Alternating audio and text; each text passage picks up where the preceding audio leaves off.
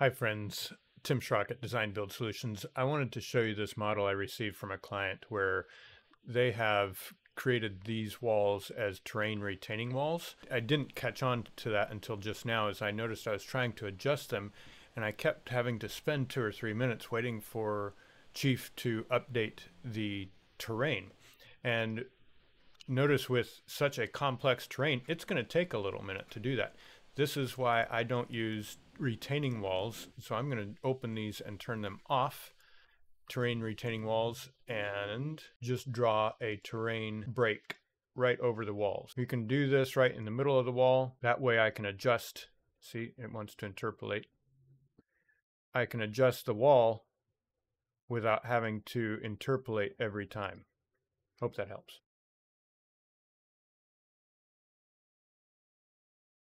Now you can see why I don't want this as a terrain retaining wall.